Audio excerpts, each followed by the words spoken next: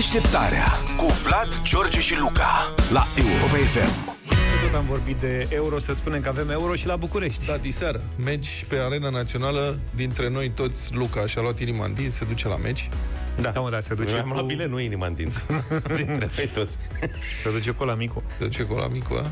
Da. Asta e soarta. O să vii mâine dimineață somni, Teleghidat. somni, teleghidat. Ce miere, jumătate de oră în plus. Dar tu ajungi repede de la stadion acasă, nu? 20 de minute pe jos. Și mai e energie de la tacos pe Se drum. oprește la tacos întâi, de asta durează un pic mai mult. Practic l-a dus pentru pi- La dus puține- mă opresc. Dar deși fiind zi de meci s-ar putea să fie coadă și pe mine nu mă enervează situațiile astea de tip coadă. Dar la întoarcere, dacă poate mai ies cu sampling. Treci tu de mai multe ori prin față, dus întors, înapoi, nu știu ce.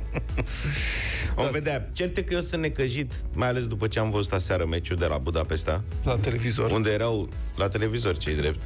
Și am văzut oricum și niște reportaje de acolo. Da. Mii de olandezi și cehi Olandezi. pe străzi da. și în tribune și am auzit că la noi vin 1500 de Eu oricum am uitat ieri, mă uitam după ei. Vin că eu mă bine. așteptam să fie o mare de francezi. Elve- Da. Elvețienii să zici că hai. Hmm. Aia sunt mai cu Băi. ceasurile, cu naut. La București sunt deja mulți francezi, Aia da. așa că ce vine e completare. A, și de-aia la... Da, am înțeles. În Budapesta nu prea sunt olandezi și de asta au venit. Nu te spăra, dar din Cehia la Budapesta, cum să spun, ajungi cam cum am plecat noi acum să mergem până în drumul taberei. și din Exact. Olanda. și din și din Olanda, ca Olanda. și cum ne-am duce până la Ploiești. Problema e că București este mu- mult mai departe. Și înțeleg că au și niște probleme cu cursele aeriene. Cursele aeriene nu sunt suficiente, au crescut uh, prețurile biletelor foarte, foarte mult. București nu fiind un mare hub aerian și s- le dau cu escală. Escală de asta, de genul escală la Istanbul, 13 ore. Cred că la Budapesta au și varianta tren, că trenurile funcționează Cred că în, la- în partea au- aia de lume. Da. Am înțeles că acum s-a stabilit un nou record la CFR. Avem și noi recordurile noastre. Japonezii, chinezii, ăștia fac recorduri de alea pe minus. Noi facem pe plus. Recordurile noastre sunt pe plus. Adică ei sunt am făcut 600 de kilometri în două ore cu super trenul șmecher, nu știu ce, și ceilalți, și noi am făcut într-o oră și 58 de minute. Deci e minus totul la ei, vezi? Da, Numai da. noi suntem pozitivi, suntem pe Exact. adunare.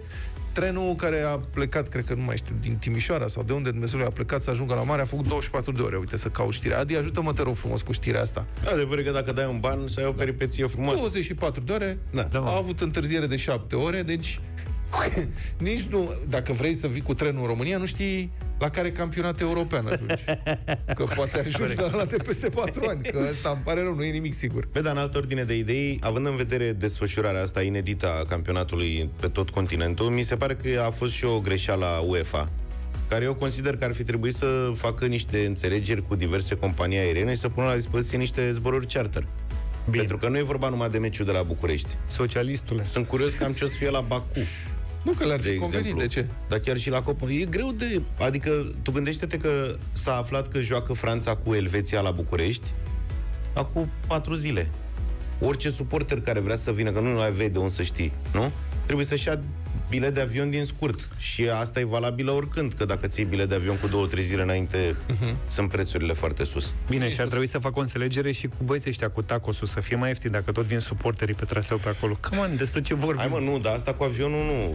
Față de alte campionate, când oamenii știau din timp să-și ia biletele, adică e greu să te aștepți că o să ai o afluență foarte mare de public în contextul în care tu anunți cu două, trei zile înainte unde se joacă meciul, cât de repede să se miște oamenii aia și câți bani să aibă de gând să cheltuiască și să vină la un asemenea meci. În schimb, vine Ceferin diseară, șeful UEFA e diseară la București. Crezi că n-am vine cu mai- trenul?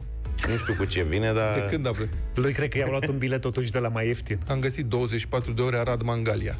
Arad. Do- da, Păi păi, și Mangalia, mă, foarte păi, departe. Păi vezi că 4 Practic ore e- face de la Constanța la Mangalia. e grosul. Da, că acolo merge un fel de mocăniță, îi zice personal, dar e ceva e nenorocire. Da, e un tren La un moment dat cu... merge pe un singur fir pe la Neptun pe acolo. Da, e frumos. Poți să tragi semnalul de alarmă, cobor la haltă. Credeam la, că ești că poți să-l tragi la cu sfoară. pescari. nu tragi cu sfoară. Nu, da, pe bune, mă, 24 de ore de la Rad la Mangalia, un tren, în țara România în 2000, cât suntem noi, 2020. Adevărul deci că nu pare- mai știi că e Euro 2020 și te induce în eroare acum. Da, vezi că aici este o eroare. Nu poți să spui, păi ce, suntem în 2021, nu suntem în când?